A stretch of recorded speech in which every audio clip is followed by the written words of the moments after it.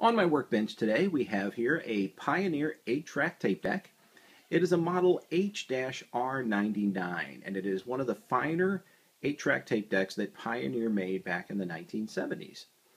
And it is finely made as far as the circuitry goes. It's well built, uh, you know, as far as its mechanics, and it's full of features. And probably the only feature that it's missing would be Dolby noise reduction but uh, this one has everything else. It has um, record level meters here on the side, as well as record level uh, controls. It has uh, microphone inputs. It has um, record, automatic level control, fast forward, program, and pause buttons across the front there. It has a real time counter, so you can see exactly how long your tape has elapsed you have the track indicators here, one, two, three, and 4, or program indicators.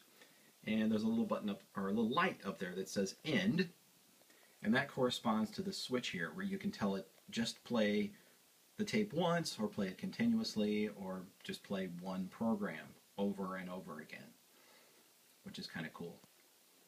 Um, let's look inside the unit here, and you'll see the back end of all those little switches that we saw there in the front we have the uh, record and playback uh, preamplifier over here on this side. And we have a bunch of wires and the drive motor right there. We have um, the capstan right there, and hanging off the capstan is a belt that goes over here and drives the time counter that you see on the front there. We have uh, a little speed control module right here, which uh, controls um, the speed of the tape. And we have a fuse over here, and a transformer, and uh, I'm not sure what this board back here does, to be honest with you. Um, but it's very important, I'm sure, to the playback of this unit. Um, let's see anything else to show you? Oh yeah, of course, the, uh, the playback head, which is right in the center of your screen now. And then just above it there, just above that uh, gold wheel, is uh, the uh, foil sensor that tells the machine when to change tracks at the end of the uh, at the end of the tape. So, uh, if you haven't seen an 8-track, then maybe you haven't seen uh, my previous video where I go through um, the inside of a, uh, a JVC tape deck, similar 8-track deck to this one, except it doesn't record. And then uh, on my other one of my other videos here, I show you about the differences between 4-track and 8-track, and this is a 4-track tape. And um, in one of my videos, I show you how a, uh, a 4-track tape is played back. And the cool thing about this one is you can actually see the endless loop of tape on the inside. Whereas with 8 tracks, they decided to hide that from us. So let's throw a tape in and hear what it sounds like. This, of course, is a pre-recorded tape, and in a minute I'll play you a tape that I recorded on this deck. So here is some groovy supersonic songs here.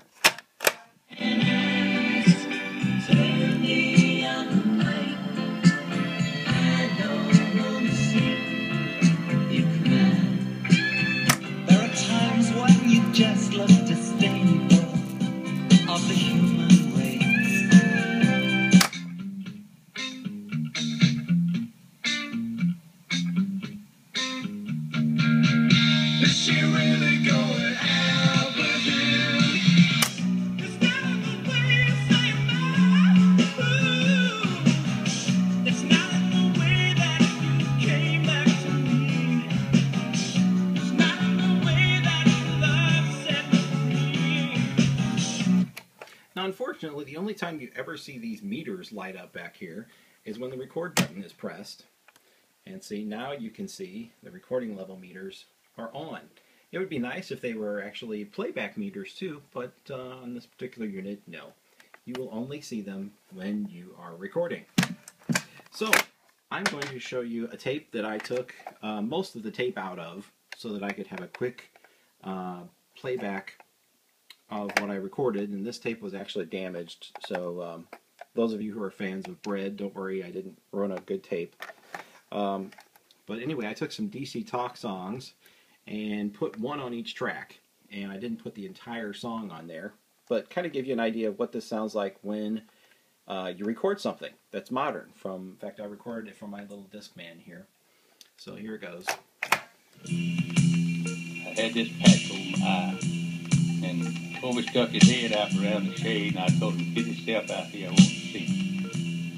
And the man told me I had come over there with a baseball bat. It reveals to me how ethics are lost. In reality, our decency is taking a plunge, and God we trust is on American pawn. Funny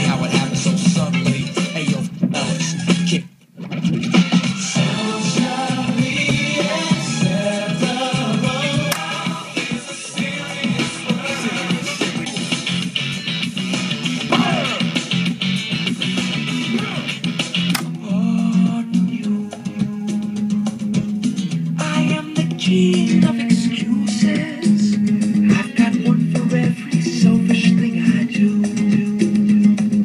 What's going on inside of me? I despise my own behavior. This patch on my eye, and Toby stuck his head out around the shade, and I told him, It's got to be all out of whack, and don't bother with excuses whether white or black. To blame it on a color There's your pause button right there. reality, decency is taking a plunge. Fast forward.